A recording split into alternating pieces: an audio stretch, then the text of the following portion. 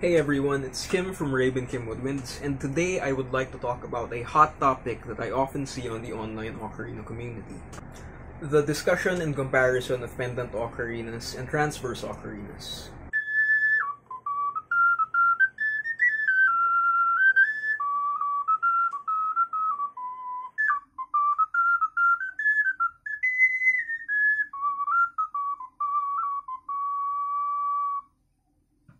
The transverse ocarina is the classical shape of the ocarina that most of us know. It was first developed in the 1800s by Giuseppe Donati in Budrio, Italy. Donati's design was later expanded upon in the early 1900s up to the mid 1900s when the transverse ocarina arrived in Asia. Uh, notably by the likes of Mr. Aketagawa of Aketa Ocarinas, one of the first ocarina makers who started introducing the use of subholes to extend the range of the ocarina. Now, the modern English pendant is a more recent design from the last century, credited to Mr. John Taylor, who sought out to create a smaller ocarina. They were developed as a compact ocarina that can be worn as a pendant, using only 4 to 6 holes uh, to produce fully usable musical scales. Number 1 Size it's evident that the pendant ocarina is a lot smaller than the transverse ocarina, and this is usually the case when we're talking about instruments of the same key. These are ocarinas from the same maker, Focalink, both in the key of soprano C. These are soprano G ocarinas, one transverse, one pendant. Alto C ocarinas, one transverse and one pendant. Although it is often the case that transverse ocarinas are larger than pendant ocarinas of the same key, there are some exceptions to the rule. Now, regardless if we're talking about pendant ocarinas or transverse ocarinas, you're always going to get significant size difference within the same type. This one right here is a really, really small pendant ocarina. This one right here is a really big example of a pendant ocarina. This one's a really small transverse ocarina, and here's a really big transverse ocarina. Apart from size, one of the most noticeable differences between the two ocarinas are the number of holes. Transverse ocarinas usually have 10 to 12 holes, while pendant ocarinas usually have 4 to 6 holes. There's this common misconception that the transverse ocarina is a step up from the pendant ocarina simply because of the number of holes. There's also this misconception that the transverse ocarina is a more serious instrument than the pendant ocarina, again simply because of the number of holes. And this is simply not true. Um, both of these instruments have their pros and cons. Both of these instruments have their right place in the right musical context. And both of these instruments I love equally well. Now, it's often mentioned that the pendant ocarina is a good starting point for beginners, but I beg to disagree. And that's because of the fingering system that you use with pendant ocarinas. Comparing the two, the transverse ocarina uses a linear fingering pattern, whereas the pendant ocarina uses a cross-fingered pattern. A linear fingering system means that you get the notes of the diatonic scale by lifting your fingers one by one from right to left. A cross-fingered system uses alternating finger positions in order to get that same scale. One could argue that a pendant ocarina would use less dexterity than a 12-hole ocarina. While that is the case, a 12-hole ocarina is a better representation of the Western musical scale. So if you're an absolute beginner with no knowledge of music, the linear progression between the low notes to the high notes is a better representation of how music is written on the staff. Another big topic to discuss would be chromatics. Chromatics make a lot more sense when you're playing a transverse ocarina than a pendant ocarina. For the absolute beginners out there, chromatics are the notes in between the do, re, mi scales that we know. To better visualize it, let's think of them as the black keys on the piano. Both ocarinas are capable of playing chromatic scales, but there are some difficulties that we face when we have a pendant ocarina.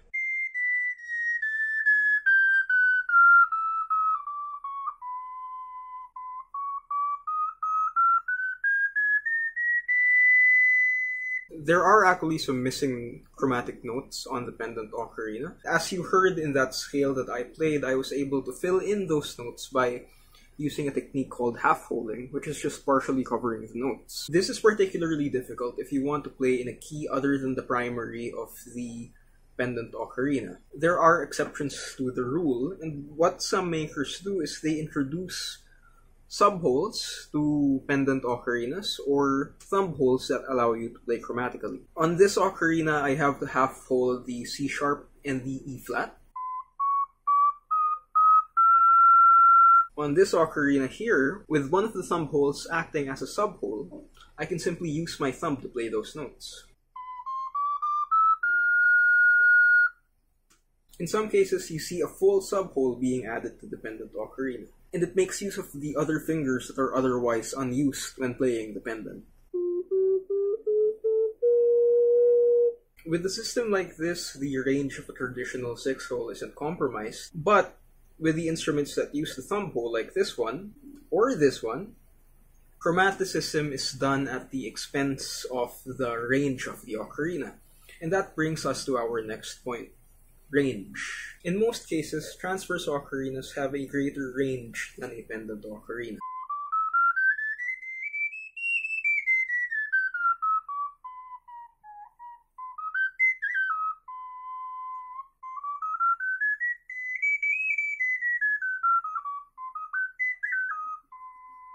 Speaking in terms of the key of C, the highest note on the transverse ocarina, the F, is missing from the pendant ocarina. And in cases of a 12 hole ocarina where you have these two additional subholes, allowing you to play the low B and the low A without doing any fancy finger work or anything funny with your breath. A 12 hole soprano C ocarina gives you a note range from the low A up to the high F while the pendant ocarina gives you a range from C to the high E. This gives you one extra note above a pendant and two extra notes below the pendant. Whoop! I'm adding another thing again I noticed that I missed out on while editing the video. There are ways to extend the range you can reach with the pendant ocarina. If your ocarina has a shorter windway, like the Stenrai over here, you can use your lower lip to cover the fipple and get those lower notes missing from the scale.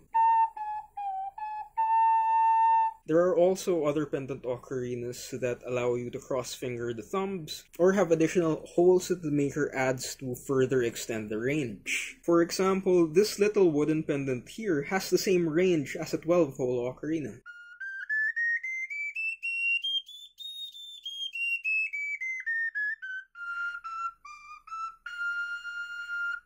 Given that pendant ocarinas are not as intuitive, have a narrower range, and aren't as chromatic as their transverse counterparts, why would you want a pendant ocarina? The most obvious answer is portability and size, but there is a lot more to that. One advantage that it has over the transverse ocarina is agility. Once you get over that non-intuitive cross-fingered system, you may find that you are able to play faster pieces of music on a pendant ocarina. Another advantage that it has over transverse ocarinas is ornamentation. Ornamentation are those little flavors that you add to your music to keep things give things a little more flavor.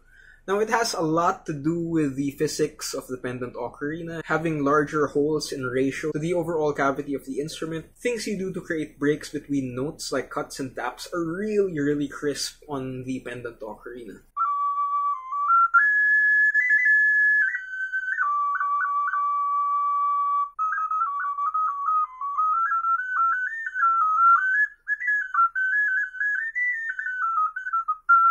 Now, talking about the choice between pendant ocarinas and transverse ocarinas, it's really a matter of context. If you need the full chromatic scale and if you need the ability to play in different keys, such as those required in playing classical music or grand cinematic pieces, then the transverse ocarina might be a better option. If you're playing folk music that has lightning fast passages, if you need the drama that you get from crisp ornamentation, and if you need something to take with you camping or hiking, or maybe something that you carry every day into the office, then the pendant ocarina is a good option to have. It's not really a question of whether a pendant ocarina is better than a transverse ocarina. It depends on the context. It depends on the kind of music that you want to play at a moment in time. The only time that it should be a discussion of a choice between these two ocarinas is when you are starting out if you have absolutely no knowledge of music and you're approaching the ocarina as a means to pick up music theory along the way, then definitely, definitely start with the transverse ocarina. The fingering system it uses is simply a better representation of music on a staff. If you want to start on the pendant ocarina, or if a pendant ocarina is the only one accessible to you, you can start learning on that as well. but take note it's not going to be as intuitive as playing on a transverse ocarina. That being said, pendant ocarinas require less dexterity to play. So if you're a clumsier individual and you feel intimidated by the 12 holes of a transverse ocarina, then the pendant ocarina might be a friendlier place to start. This question of transverse versus pendant used to be a big deal to me. I found as I progressed more and more on the ocarina, the less it mattered. Regardless of what you start out with, just have fun along the way. Eventually, you come to a point where you don't give much thought into the fingering system that you're using, rather focusing on the sounds and pitches that you can produce, letting muscle memory take over without having to think about where to place your fingers. Later on along the way, you might find yourself deeper into the rabbit hole, growing and growing and growing your ocarina collection, and you will realize that one system isn't necessarily better than another. It's simply a matter of context.